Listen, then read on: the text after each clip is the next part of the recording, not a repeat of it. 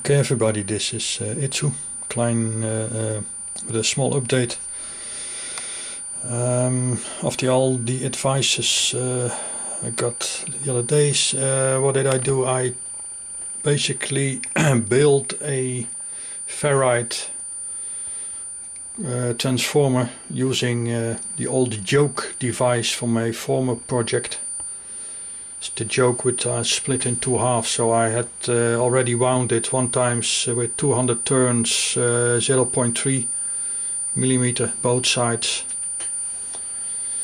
And the only thing I did is I turned uh, kind of two primaries uh, 25 turns.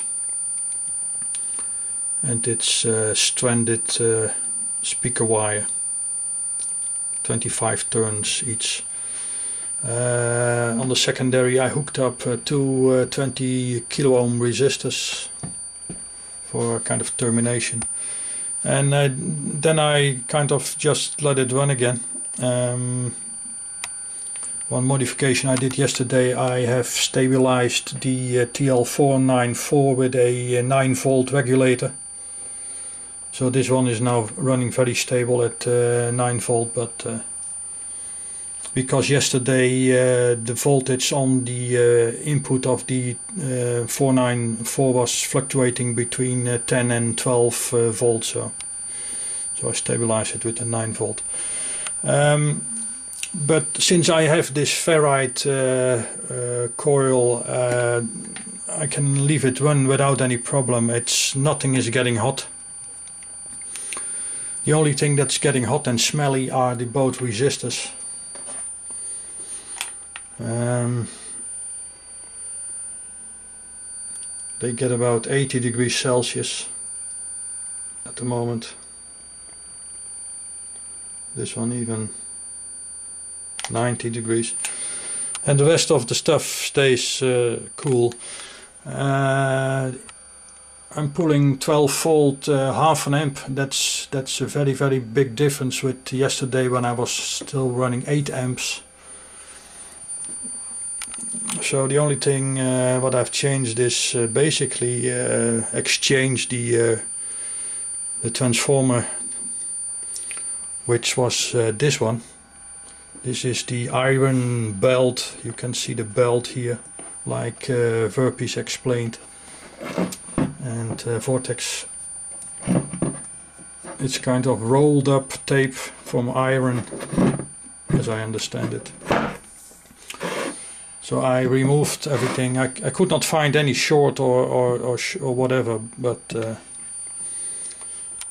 obviously there was something wrong because with this uh, ferrite it's uh, running okay. Um, I'm doing some measurements now again. I have one uh, red probe again across one of the uh, source resistors. They stay very cool. They were very hot yesterday, but uh, so the red probe is now on the one of the MOSFET's uh, source resistor and this is the uh,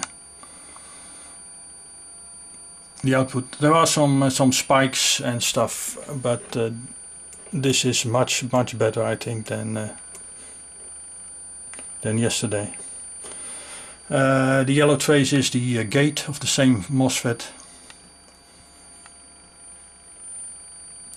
and it's 10 volt kind of stable. Uh, I will do some drain measurements and some output measurements on the secondary for uh, the rest of the uh, measurements to complete. Okay, these are the both uh, source current resistors displaying the current. It's about uh, 750 uh, millivolts across 0.47 amps. So we have some ringing there, but uh, I will measure now the uh, the gates. Okay, these are the both gate signals. I have uh, 10 volt on both.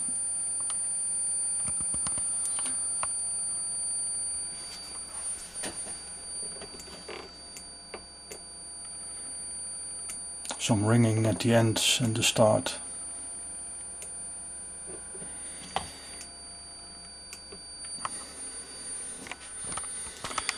Uh, we'll now try to measure the drain uh, voltages. Okay, the probes are now across the both drains. I can see very nasty spikes. Uh, it shows 332 volt. So I think I still need this uh, Zener diodes. I have on order 28 volt Zeners.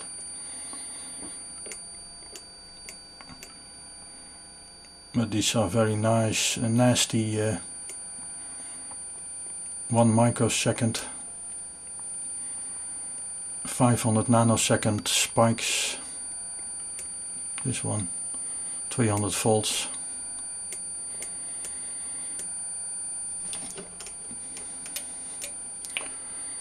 And the voltage is uh, kind of square wave uh, 20 volt per division so uh, something like 25 volts.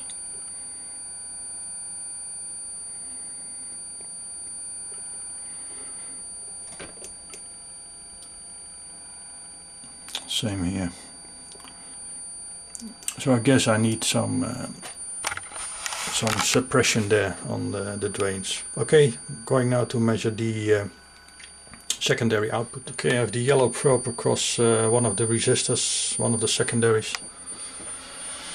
And this is the uh, nice square wave, I think that's coming out of it. It peaks uh, 480 volts. Almost 94% uh, duty cycle. Uh, I had to fiddle around a little bit with the duty cycle settings of the uh, TL494. They are, uh, I think, at 46%, and then I get this, well, almost square output sine wave, sine wave, yeah, square wave. I think this this is what I expected to see uh, when I started this. This is a, a, nice square wave 480 volts uh, frequency uh, should be about this 4.6 kilohertz as I understand it. So this one I can feed to the L2, uh, sorry L1 uh, coil and then this uh, uh resonating coil L2 should resonate uh, and, and sweep up uh, the signal there. And the other the other secondary this signal will be rectified and then I will have something like uh, 230 volts DC I guess uh, which will be used for the uh, nano so I guess this is uh, kind of uh, much better than I had before. The only thing is that I have some nasty spikes on the drain so I still need this uh, 28 volts Zeners across the drain source, which will be done uh, next time. Okay, thanks for all your advice and uh, uh, suggestions. Uh, obviously, uh, it was one of the main problems was this uh, iron toroid on this frequency. Thank you for watching.